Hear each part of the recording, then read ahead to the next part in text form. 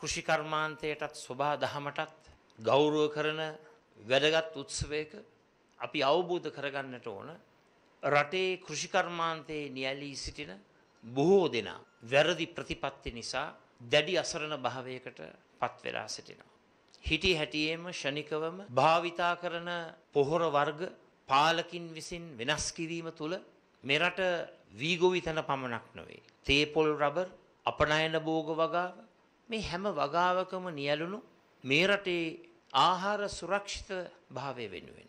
දැඩි කැපිකිරීමක් කරන ගොවිතැනේ නියලෙන ජනතාව. අන්ත අසරණ භාවයට පත් වුණා. ඒ වගේම රටේ ලෝකෙ සිදුවන උණුසුම් පුවත් දැනගන්න සියත නිවස් YouTube channel එක අදම subscribe කරන්න.